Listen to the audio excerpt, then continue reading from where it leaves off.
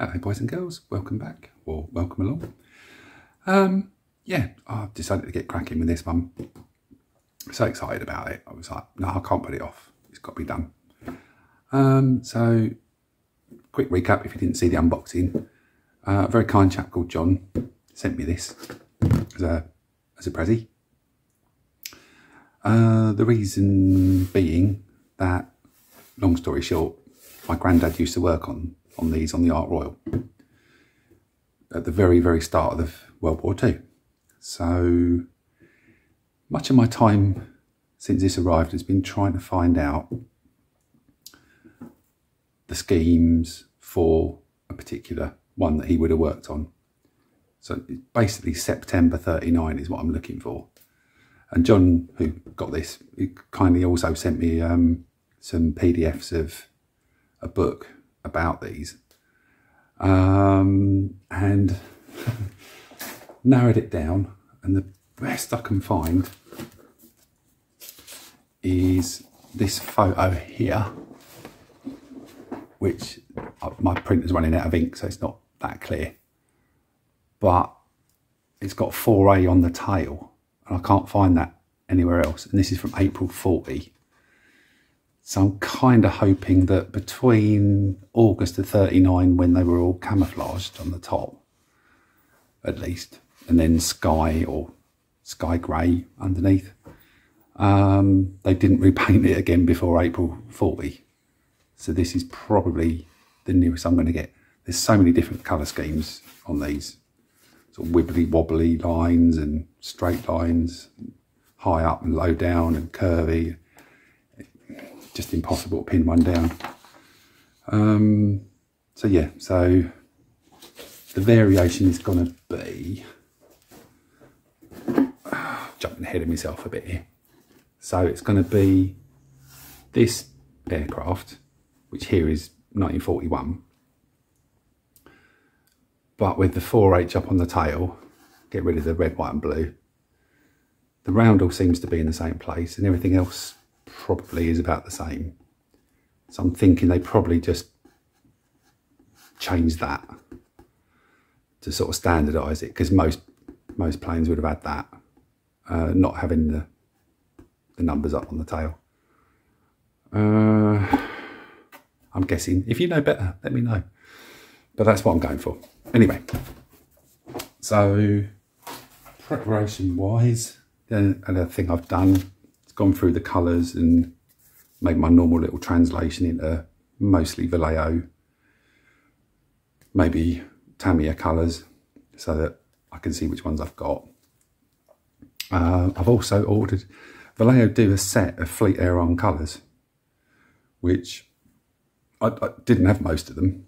Um, and it also turns out that the upper wing had slightly darker colours to the lower wing. So there was a sort of shadow thing going on.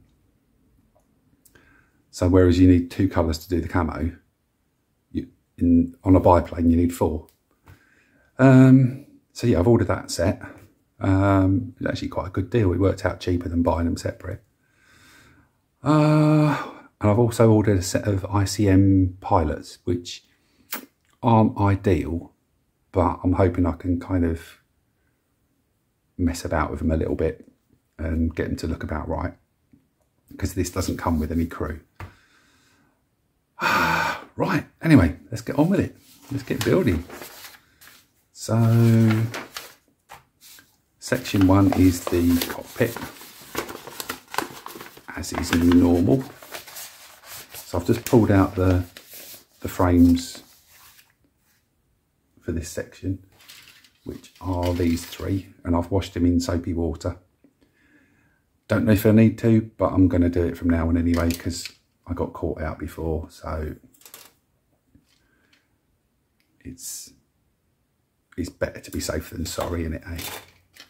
So, having not done a trumpeter kit before, this is a little bit of a different layout to what I'm used to.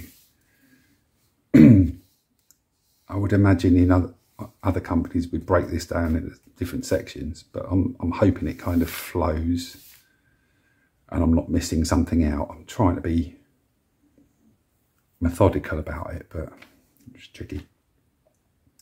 Also notice that they give you colours like here for the seatbelt, saying use this tan colour and wood brown for the, the seat back. But it doesn't tell you about the base of the seat. Doesn't tell you what this part here is. oh, yes, oh, sorry, green. um, green. Oh, I suppose it does. It just in different places. Okay, I'll take that back. But like this bit here, doesn't say what colour that is. Um, this bit here. Yeah, it's not everything is, is kind of described. But I've looked at some photos of um, cockpits and basically everything's green except for sort of the dashboard and a few levers and things which would be black. So if I go with green with a few black bits, I'm not going to be far off. So, uh, yeah, let's get cracking. Need to prime everything first. So I'll get all the bits together and get that primed. Okay, so I've just cut all these off the sprues and cleaned them all up. Uh, ready for priming. But just looking at the instructions, looks like there's a few bits that could go together first. Um, a bit of PE needs to go on the seat. So maybe I'll leave that off for now. But most of these bits could go on as is and then prime it and then just go in and do the bits that need brushing. Uh, yeah, I'll do that. Okay, so I'm just going to stick a few bits together. So just put a few odd bits on these levers here, this section, this bit here, um, the seat and these controls. Uh, on here, there's these wheels. They're just in halves, just put them on. Uh, that's about it really. So, oh, and the seat. It's centre sort of stool seat. It's two halves and the cushion. So, right, off to the spray booth. So, primed everything off the cockpit area. Um, I think, let's have a look. I, I, think I missed out, yeah, I left out the, the machine gun.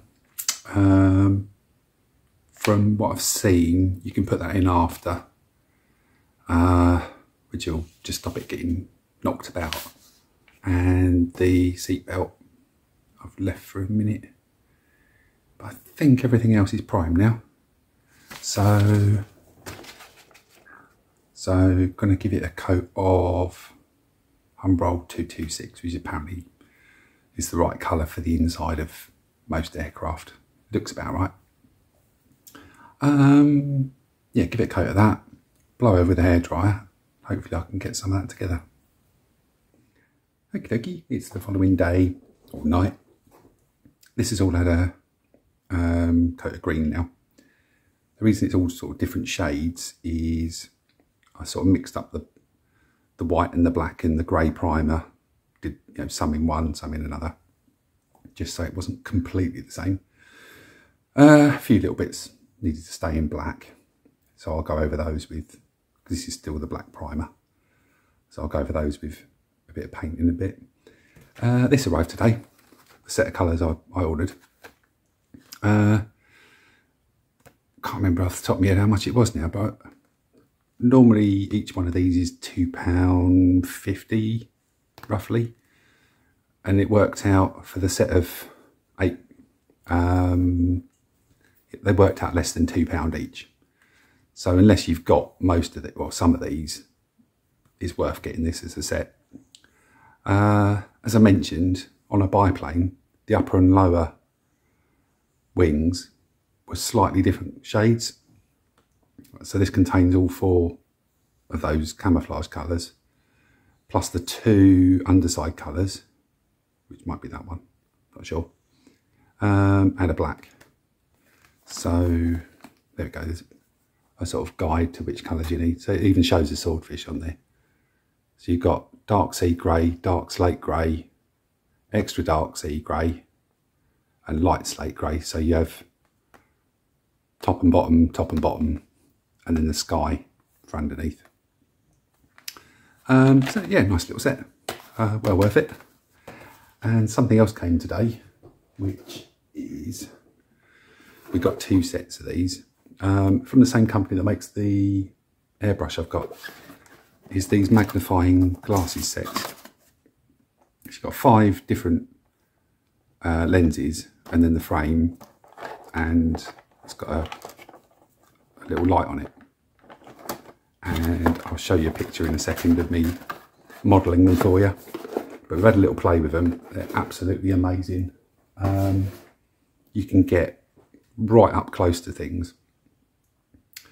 Um, we was having a look at one of the soldiers at a 135th scale soldier that Sarah's working on. And there's like straps on his boots and insignia on his jacket that we hadn't even seen until until we put these on. It's like, oh wow. So uh, yeah, that'll be very very handy for doing the little detail stuff, like instrument panels and things like that, and figures. So back to tonight. Um, I think I'm gonna try. I'm a little bit not sure about assembling the cockpit yet um, just because I've ordered figures and they're going to need a bit of assembly and a bit of bodgery to fit. I'm not sure if it's going to be easier to fit them in and then build the cockpit around them or put them in after. Don't really know. Uh, so I think actually what I'll do tonight is I'll do some of the detail stuff on here, like uh, like painting the controls, um, I think these panels here might have been silver. There's like a sort of checker plate thing there. I think those were sort of, you know, natural metal finish. Uh, like the, the stirrups there, they were probably bare metal. So I'll do that. Um, this stool, that would have been like a sort of leather, leather look. So yeah, I'll, I'll get all those bits sort of detailed and I'll get to play with those glasses. Yay. Uh, just a little aside. So I've opened up the, the, set of paints and it's actually got this rather handy looking uh, piece of paper. um, so a little bit there about sort of who used what and then each colour, which scheme, so the temperate scheme and what years it was, then North Africa, Mediterranean, so quite in-depth about which one was right for which area and what, what years. So very, very useful. And then a whole load of different aircraft and what, what colours they were. That's useful, wasn't it? Wasn't expecting that. So uh, I think that, that's going up on the wall. It's a little bit of reference, that. Cool. So these are the pilot figures I've got. Not sure if they're the ideal ones. This is um, British, American and Soviet, which is obviously not quite right. I think that's supposed to be the British fella, but he's in tropical hot weather shorts and t-shirt. I think that must be the Soviet fella.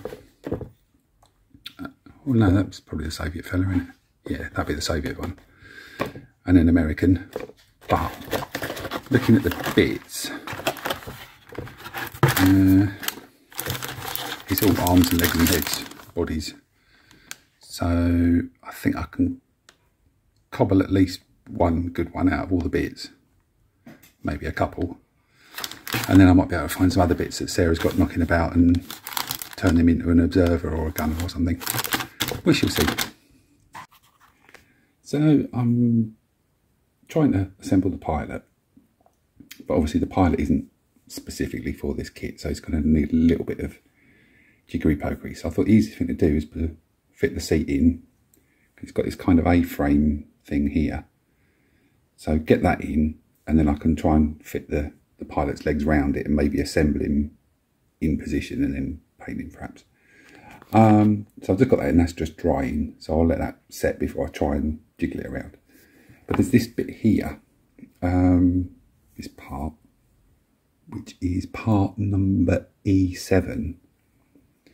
And it shows that the bottom of it, this end, that blunt end, fits into that little hole there. But there's no sort of positive location. It doesn't show where the top goes. Um, I'll show you what I mean on the instructions. So it shows you it there, fitting into that hole, but then it it just sort of disappears. You can't really see, doesn't give you an angle or anything, doesn't show you what it attaches to, if anything. Um, I've watched a couple of other YouTubists videos, and one of them left it out completely, um, which is an option, because I've no idea what it is. And the other one had it in that hole there and it was kind of resting oh, let me show it and sort of resting about there which as I don't know what it is I don't know uh, doesn't kind of look right from the angle but I, it sort of looks like it needs to attach to something but I can't see what um, down there, is it? No. I think I might just sort of put it about there and it, it's probably going to be about right. I just don't know. Mm, yeah, I think I'll do that. At least it's attached to something then, so it hopefully won't fall off. So I assembled him sort of from the legs up um, with a parachute on his bottom, because that's a seat cushion as well. The legs and the body are okay, getting the arms right was a bit tricky. So the best I can do, I, I won't jiggle it around too much because it's still drying, but where his hands are is slightly too far forward of where the controls are. This the joystick thing. So what I'm going to have to do is when I put when I've painted him and I go to put him in, is just move the stick forward a bit, hold that and then sort of click his fingers around it a little bit.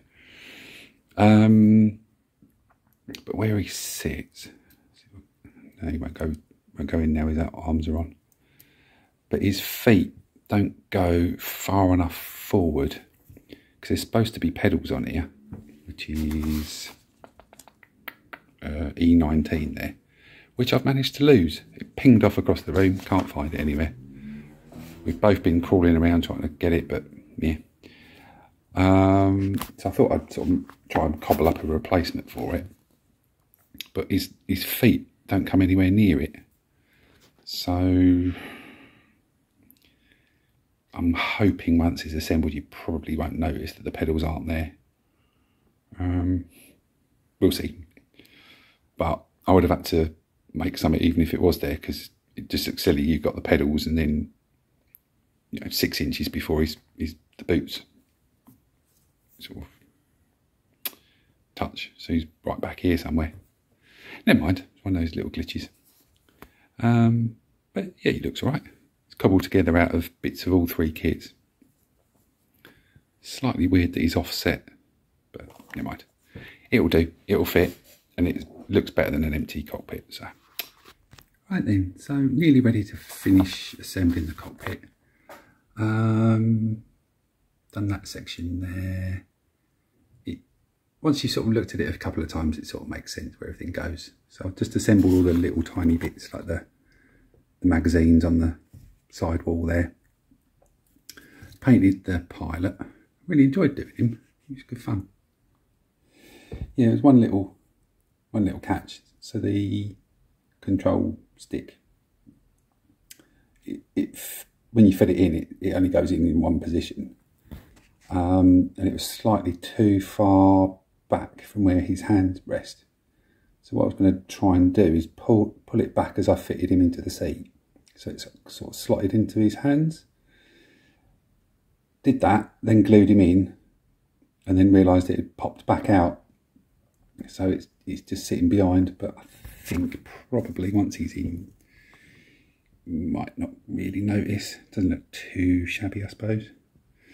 Um, one thing I did like doing was the this rack of flares that sits on the side. Yeah, there's a little row of flares, and they had a little dab of what colour they were on the top. So that was that was quite fun.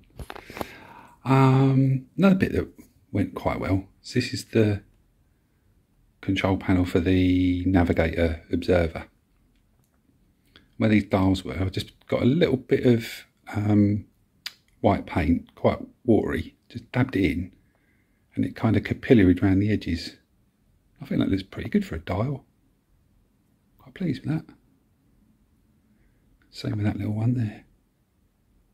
Hmm. And then just sort of picked out bits here and there in silver just to lighten them up a bit. Um, what else? This bit here, so this is where the gun mounts. What I must say is everything fits together so nicely on this. So obviously you just glue in the, the side bits and that bit fits in the middle. But it's so well made that it's just got enough tension in it that it'll just sit where you where you put it. Really nice that. Uh, so yeah, I'm just letting everything finish drying for the time being. Um, one other thing I've just done. I've just sprayed the the inside of the fuselage. It's a bit of interior green that's still drying.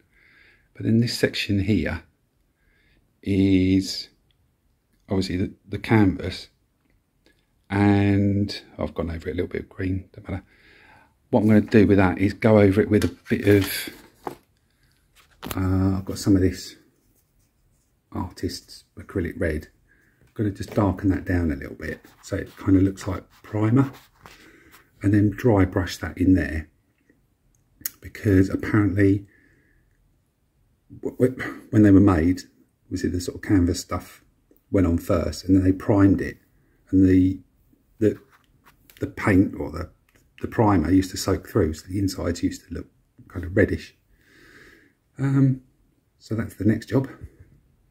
Uh, yeah, all good fun. Yeah, everything fits together so nicely. Really nice bit of kit. Um, the only thing, only criticism really, um, was this bit here because it didn't show where it fits here, but minor thing.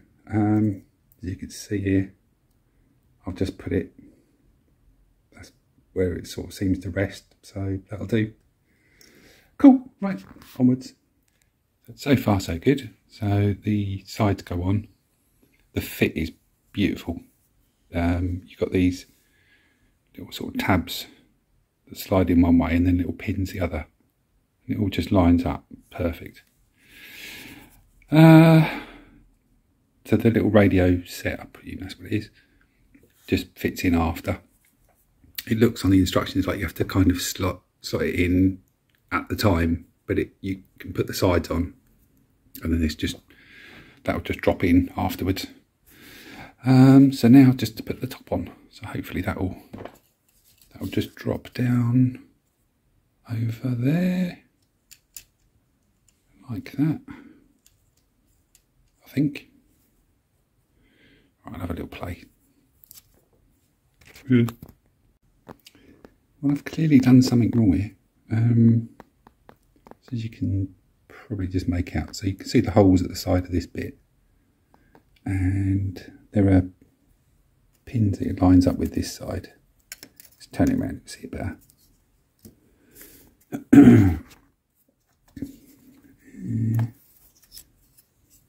around that way. Okay.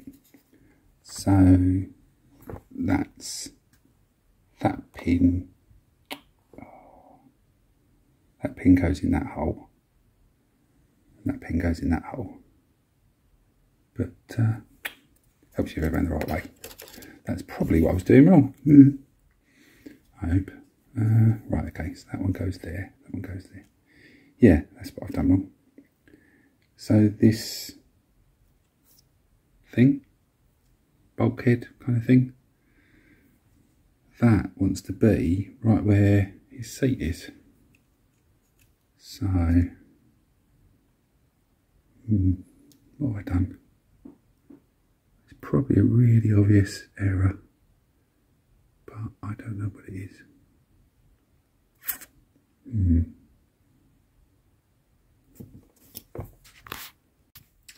So I'm not sure what I did wrong there, but everything sort of seems to be in the right place, but didn't line up. So I've obviously made a mistake. So I've prized out the the pilot and the seat. Um, a little bit of damage to the bottom of the seat, but won't see that. Um, so this top bit's now in the right place. And he has to sit quite a lot further forward. It's probably like sort of five mil or something. I've, I had a good look around. I can't see what I've done wrong. So, don't know. So all I'm going to do is take the bottom of the seat off. That little pin there. Uh, sand that down a little bit and then put it in as far back as I can in in there and hopefully that will look okay well that's kind of the best I can do so you can kind of just see that bit there right they're moving right forward I really can't see what I've done because that sort of A-frame bit inside uh, that bit that's where it should be. And that kind of sits in there and that's right. So uh, and that fits in the holes there and that's right. So I can't see what I've done but obviously I've made an error somewhere. Um yeah. So I'm just hoping that's I've, I've glued the seat in as you can see a bit further forward so all I'm hoping now is that when I go to fit this in the fuselage he's not banging his head on the front or anything. Well, not like the dashboard's not there. Dashboard is that the right word? Instrument panel. Yeah, mm, find out tomorrow. So I've taken the fuselage halves off the sprues, cleaned them up, um, just dry fitted them together. Fits really good. Um, there's a couple of little gaps along the top. Just need a tiny bit of filler, but other than that, pretty good. Uh, what I wanted to check was that the cockpit would fit and it seems to fit just about all right. So there's a little pin there, there, and then you can just see, just drop that on there. That's it. So I think that looks all right. So although he's sitting a little bit further forward than he would, I think it looks okay. Yeah, um, I had a bit of black paint knocking about, so I just sort of did a bit, little bit of pre-shading. Not something I tend to bother with, but well, I'll give it a go. Um, and yeah, the inside, this is that red I was on about. Just used a bit of red and a dry brush and just made a mess of it. Uh, I've got to do this little bit again. I'm not sure if that shows up. I think it probably does, doesn't it? Just about. Mm. But yeah, probably just about see it. Actually, I think I'll probably leave that. That'll do. Um, and then just touched in a few little bits here and there. Just artistic license, just kind of picked out bits. Um, I assume bits are black. Don't know. Right. Uh, now, weirdly, before it comes to assembling this, it says make the engine and then do, was that the tail, isn't it? And a couple of bits inside the fuselage. Um, don't know why it says do the engine now. It's not really in sequence, but uh, I'll just do what they say. So the cockpit is pretty much done. I've ordered some other figures to try and do the um, the gunner and the observer. So section two, basically engine. Um, and then it's back to section three to finish the cockpit off. But anyway, um, so basically all this is is paint each bit different colours and then stick it all together. So I'll get the airbrush out.